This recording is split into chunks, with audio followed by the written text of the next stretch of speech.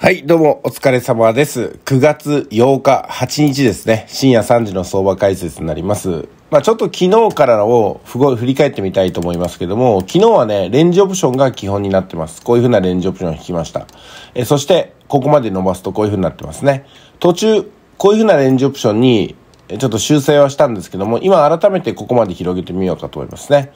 これが現在考えうる、レンジオプションというくくりになります。で、昨日はですね、その中でも、随分と高値に集中してましたので、上抜けることはあるだろうなと思ってましたね。で、結局上抜けなかったんで、私の昨日取ったポジションはロスカットに終わったわけですけども、それは全然問題ありません。なぜなら、こういう形で上抜けることが結構多かったからなんですよ。問題は、あ介入が一度入ってましたんでね。ですんで、上に大きく抜けるだけの資金を投資家さんが投げるかどうかっていうとこだったんですけども、これは私も自信がありませんでした。結果、値段は下がる傾向にあったんですけども、今振り返ってみると、このレンジオプションの範囲内でしか動いてないってことになります。ですんで、レンジ内オプションでね、えー、トレードをしていれば、結果的には利益になったのかなと思いますけども、昨日の時点でそれは分かりませんでしたので、昨日は早めにトレードの方をね、終わって、え相場解説も早々に終了したと思います。えそして今こうやって金曜日最終日ですよね。こうやって相場を見ていると、今週はですね、月火水が取りやすくって木曜日に難しくなって金曜日は一番難しいなというふうに見えますね。まあ、というのが、レンジオプションで安定したテクニカルが通常ならできそうなんですけども、材料の存在をね、ちょっと思い出したんですよね。金曜日は8時半。だからもうすぐしたらですね、でかい材料がドカンときますんで、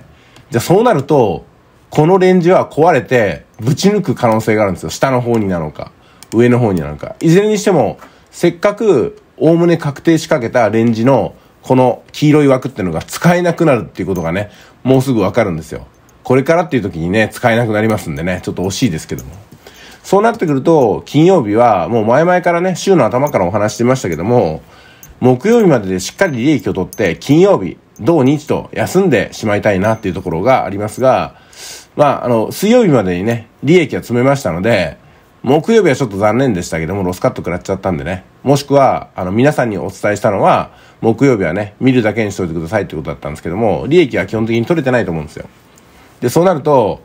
もうさらに難しい金曜日ってのは、もう UA を加えて見てるのが一番ということになります。材料を見てみましょうか。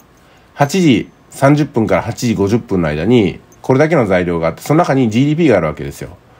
これは三つ星ですね。大きく揺れる可能性があります。で、それが落ち着くのが大体お昼ぐらいなんですけども、お昼過ぎてもちょっとね、ちっちゃいのがありまして、それからはね、えー深夜まで何もないわけなんですけども、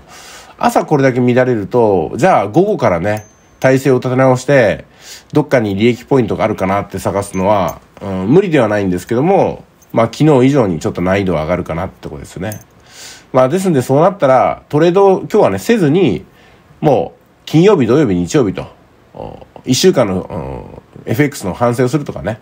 復習をするとか、それからもう割り切って私生活の方で、なんか普段できないことをやるとかっていうふうに切り替えた方が、来週から新しいね、気持ちで取り組めるんではないかなと思います。来週はいよいよ37週目なんですけども、37週目がどうなるのかってことは今日は考えませんけども、まあ今の時点で言えることってのは、本日金曜日ってのは、とりあえず8時50分の巨大材料が収まるまでは、ちょっと見ているしかないなと。そうなるとすぐに朝10時ぐらいになっちゃいますんでね。うん。そしたら、あれよあれよともうトレードをするようなチャンス、エントリーのポイントを探してるうちにもう午後が来ちゃうわけですよ。そうするとね、本当に、あの、なんとか